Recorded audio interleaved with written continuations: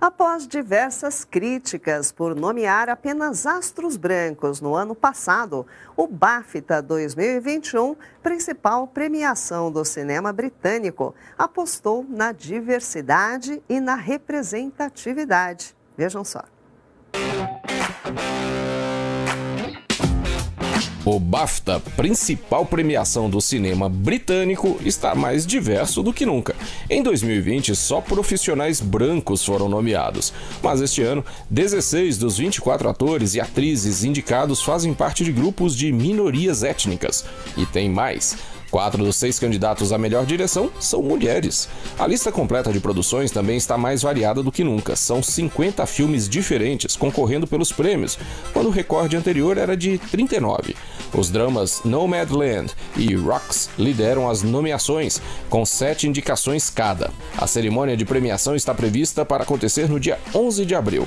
Quer saber quais são todos os indicados ao BAFTA 2021? Após o boletim, acesse olhardigital.com.br e confira. Lá você vai encontrar tudo em detalhes.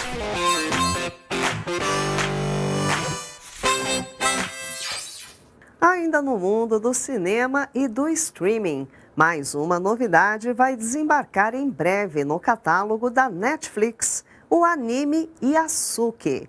Yasuke é protagonizado por um samurai africano em uma realidade alternativa.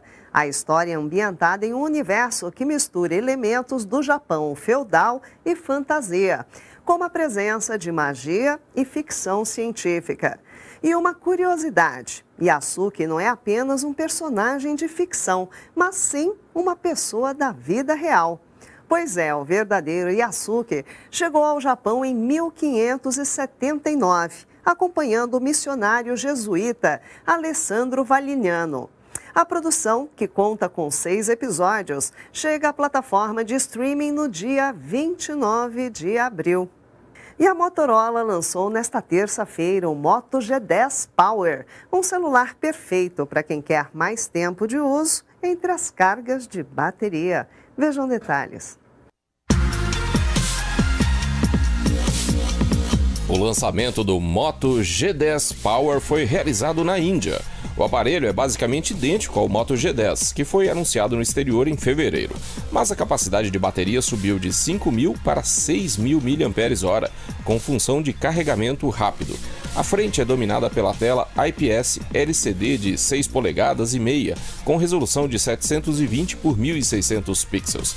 A câmera frontal tem resolução de 8 megapixels. O processador é o Qualcomm Snapdragon 460 com 4 GB de RAM e 128 ou 250 GB de armazenamento. Na traseira fica a câmera principal com sensor de 48 megapixels, mais uma grande angular e sensores de profundidade, além de uma câmera macro. O Moto G10 Power também tem entrada para fones de ouvido, botão dedicado para acionar o Google Assistente, sensor de impressões digitais na traseira e resistência à água com especificação IP52.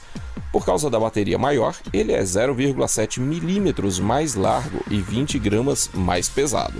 O preço sugerido é de 135 dólares, algo perto de 775 reais.